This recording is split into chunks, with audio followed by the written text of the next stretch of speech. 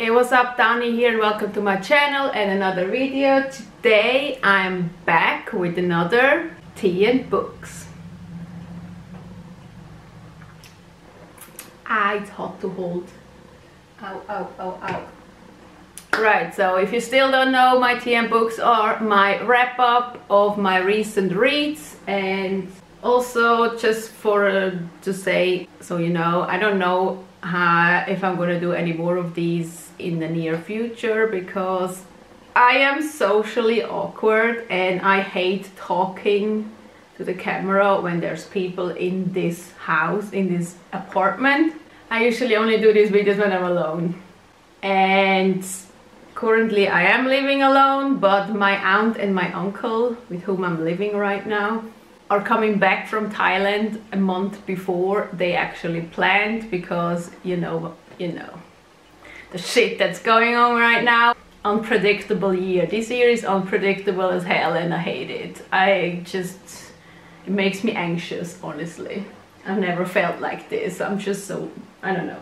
But anyway, um, I'm gonna wrap up a couple of books that I've read recently. It's gonna be four books, two mangas and two novels. Two of them are digital and two of them are physical. So I'm gonna start with the manga. First off, I have a series that I've been reading for ages. It feels like forever and I never want it to end, but I know it will. Probably sooner than later, but I just absolutely still to this day love this series so freaking much and that is Haikyuu volumes 27 to 33 and I just this series just I don't even know what I should say at this point because y'all know how much I love this series. If you've been following me for long enough, you all know I adore this. I have been loving this forever and it's one of my favorite series. Definitely my favorite sports manga. So I just, the characters and everything, it's just, I don't even want to say anything because A, everyone knows what this is about and B it's boys who play volleyball and there's drama and stuff and I'm here for it and I love every single character in this series which I don't know if this is a good or a bad thing because it's just the pain is too much.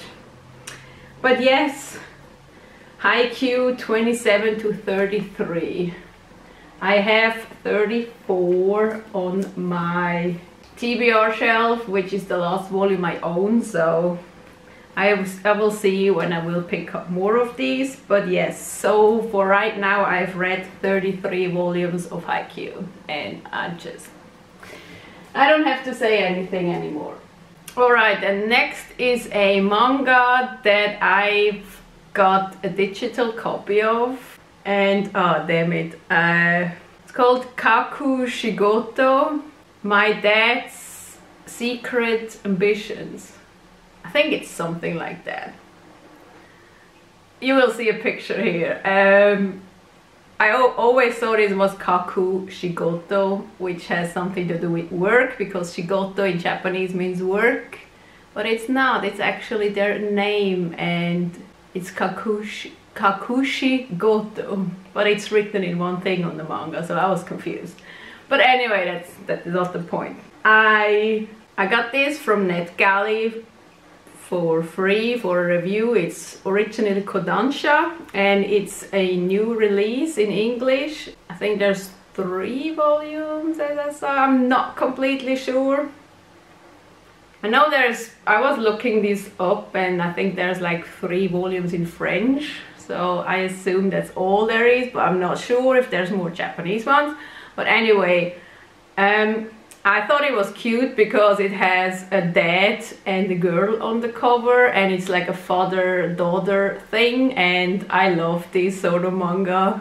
Just like an adult with a kid that's just me especially if the adult is a man because I love it like Barakamon um, Yotsuba, Sweetness and Lightning, just like manga like that, just I love it. These are like the slice of life manga I love because I just the father is always so adorable. So I'm always here for that.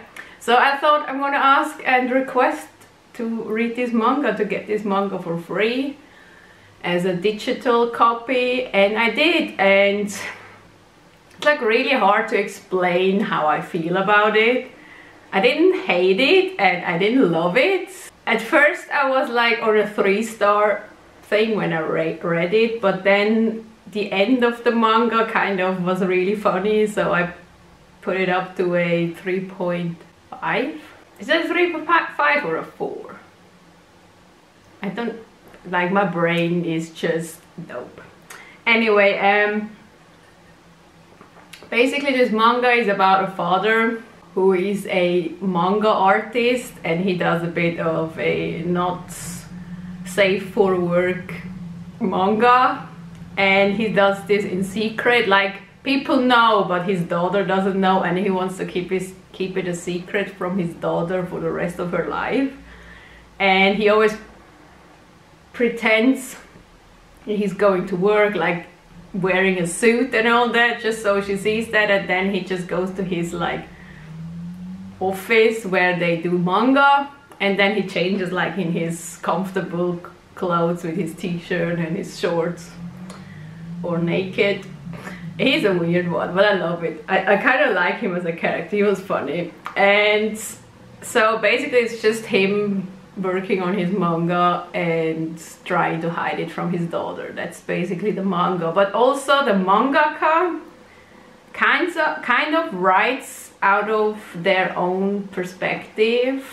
I'm not sure if this is like really what this mangaka is going through, but in the middle, like in between the chapters, there is like some text about that the mangaka wrote about themselves and about trying to hide that they are mangaka because it's not really that great of a job. Apparently like for some people see it like that. They're like ashamed of their job. And it was kind of sad to read these parts because like to know that mangaka feel that way or some of them do. And just to see a little bit how the whole thing works with an editor and all that and how a lot of their ideas aren't getting picked up as they want them to be and all that stuff.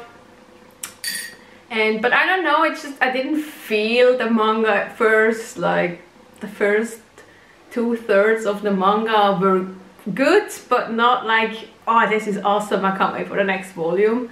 And the last bit was just hilarious and I laughed a lot and for that I pushed it up in my rating um, I will probably read the other volumes if I can get them digitally as well. I won't buy it, but I will read it digitally however I'm getting the volumes, if I'm buying them or if I'm getting them, I don't know yet because they're not out yet. This is actually a new release in English. I think it came out this month. If I'm not wrong, it came out in March, so it's a new release. So I don't know when the next volume is gonna come out. But anyway, that's Kaku Shigoto, my dad's secret ambition. It's funny, if you like, if you wanna have a father-daughter manga and about a manga artist and how he tries to hide his job, you should definitely give it a try. And that's for the manga. Then for the novels, first there is a book that I've finally finished and I'm so happy I did finish it because it literally took me about a year to finish it because I took a break from it last summer and I haven't picked it up until this month which is really sad because I really like it but I don't know why. I just probably I was reading a lot of other stuff so. And that's Harry Potter and the Chamber of Secrets the illustrated version which is just absolutely beautiful. These these illustrated versions but if you love Harry Potter you should invest in these because just for the illustrations alone these books are incredible. And if you don't own the Harry Potter series and you want them you should definitely pick up these. There's four out so far so the first four books. I only have three. I need to get the fourth one but yeah Anyway, I finished this. This was a reread. I've read the book seven years ago. I don't really remember exact time I've read this, but it must be around 2012, 2013. I don't remember. But I just the experience you have reading this in the illustrated version is just so amazing. And also next month is Owl's Readathon, which is a Harry Potter readathon, and for that I am going to read the third book, The Prisoner of Azkaban. So I had to finish this obviously to continue, so I wanted to make it a mission to finish it, and I did, and I loved it, and it's just Harry Potter, and I don't have to say anything else, but these editions are absolutely gorgeous. I wish all the books were like this, honestly. Give some of the artists some work to do and do all these books, honestly, these would be so beautiful. They're just, even if it's just text, just the whole thing, the backgrounds, it's never just white background. So it's always something, or you have it like that and it's just beautiful all the illustrations to follow along with the story and yes I love it. Five out of five always. And I'm excited to read the next one in this edition because just that alone makes it awesome experience so. But yes this is Harry Potter and the Chamber of Secrets and then the last novel I'm gonna talk about is also an ebook that I got from NetGalley in exchange for an honest review and it's called From the Dark We Came by J. Emery. And it's a paranormal romance with vampires which I'm always here for that. And but it's again a short one it's only 134 pages so it's not that long and I wish it was longer. Honestly I love this book. I mean I gave it four stars just because it wasn't long enough for me. So you can you know. So basically the synopsis of this was that there's a vampire hunter and there's a vampire and they fall in love. And I was like yes please.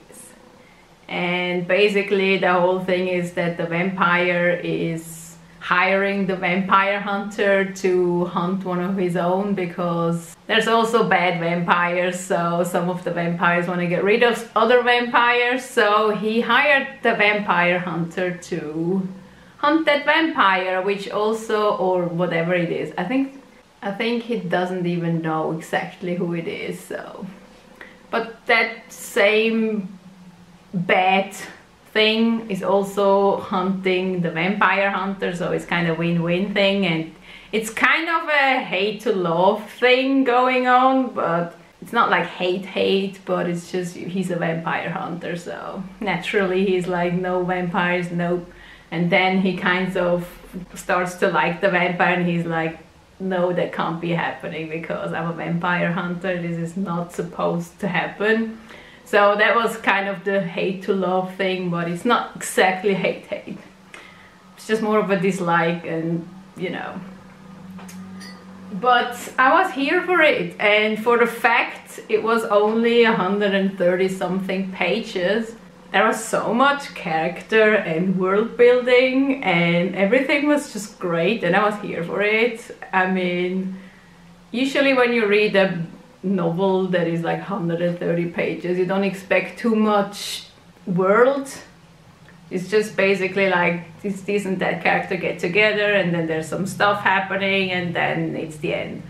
But it felt like so big and I really really really want to know more and have more of this book or of this series of this world and I really wish there would be more.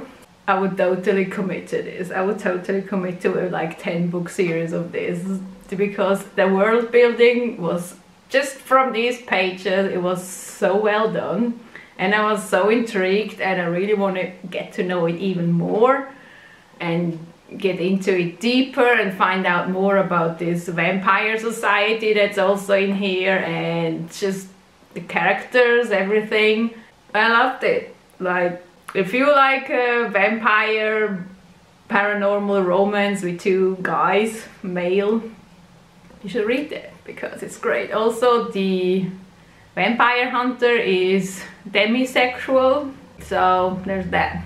Also, there's a lot of trigger warnings for like violence and blood and all that stuff because vampires, so naturally you get like slaying and that shit in the book, so obviously. But yes, I absolutely loved it. I didn't expect to love it as much as I did. I just really wanted more. I, it, it was finished and I was like, I want more. I want to know more about these characters. I want to know more about the world. I want to know more about the vampires and just, I want more. Why is there no more? Makes me sad. This is why it's four stars, because it makes me sad that there's no more. But yes, this is what I've read. This and the two e-books, e-manga. It's called e-manga. Whatever, you know what I mean. So yes, that's my recent reads and I am excited to jump into the Owls next month. My TBR is already here. I already posted it in case you haven't seen it. And yes, that's it for this video. I hope you liked it and I will see you in my next one. Bye!